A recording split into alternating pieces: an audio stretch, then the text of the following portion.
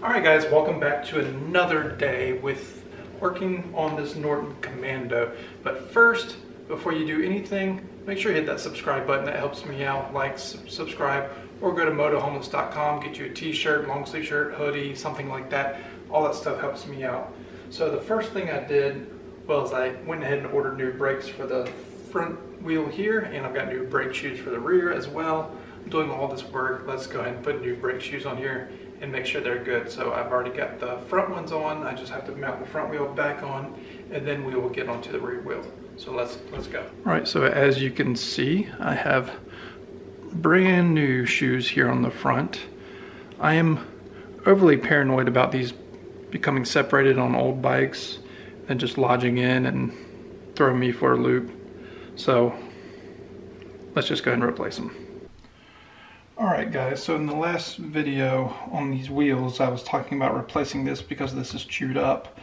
So I've got a new one here. I've got new grommets and new screws to go on here. So I guess I get to take all these little tiny screws out first. Alright, there you go. So you kind of see here on camera a little bit, but it's chewed up pretty bad. So I've got a nice new one to go on.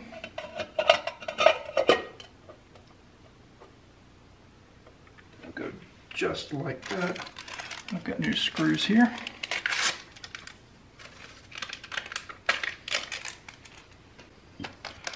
All right, now that we have the screws on there, all six screws, got brand new rubber grommets. It's interesting, these are gray. The ones that came off were black. I'm not sure what is standard. All right, that is together now.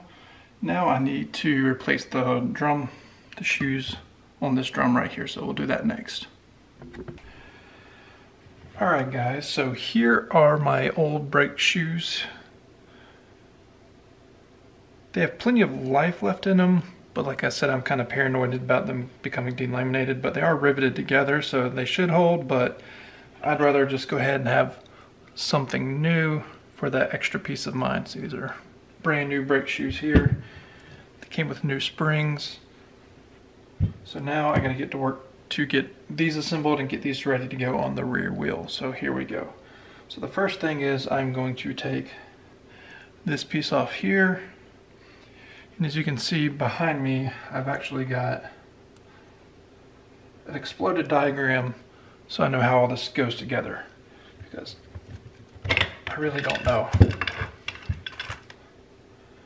All right, so we're gonna get our springs on here. All right, so we have our new one. We are starting to assemble here. We got the springs on there. We got the little cam down here. And let's just continue on following this diagram. All right, we got our new, or well, this is our old plate. It's powder coated, looks nice. So I need to take, let's see, I'm going to orient this like this, stick this through here. that. It looks like this can go two ways. There's a lip right there, so I'm not entirely sure which way it's supposed to go. It's hard to tell in the diagram. It's interesting, the threads on my brand new piece here, they're just not good. This nut doesn't want to screw on them, but on my old one, old one it screws on fine. So I think I'm going to reuse my old one because these threads make me a lot happier. I'm threading this on here by hand right now. There we go.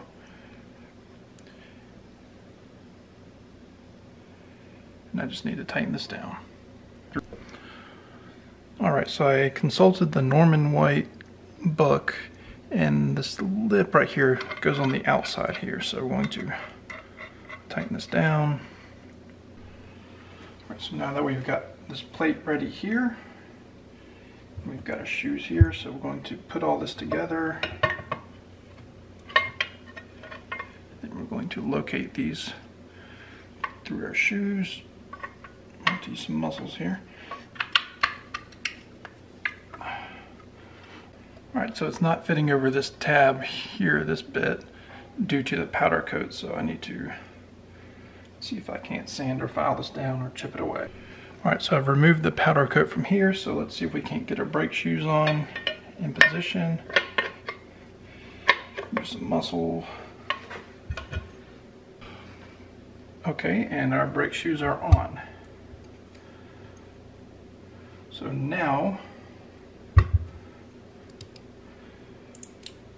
should have two of these screws, so I might have to try to find the other one. Then we got these tabs here that are going to retain all this in place. So this tab's going to go in here first.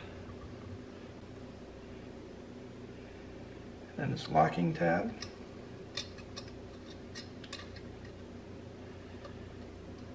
Put our first screw in. So as you can see, it will look like this, and I just gotta get that other screw. Hopefully have it sitting around somewhere.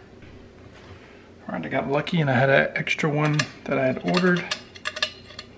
So now I just gotta tighten these down. Then I gotta bend these locking tabs in place, that way these screws don't ever come out, because that would be bad news.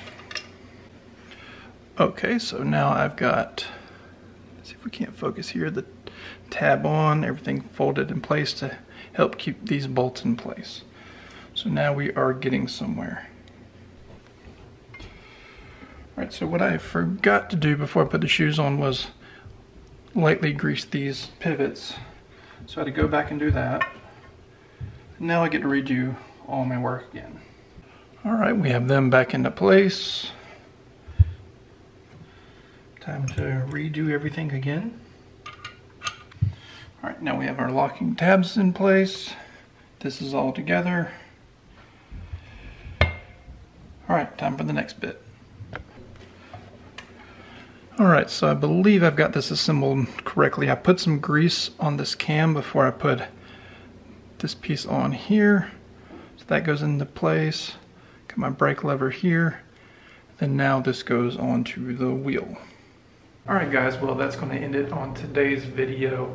I will be mounting the rear wheel on here in the next video. That's going to be a bit of a massive hassle so I wasn't able to get that done tonight.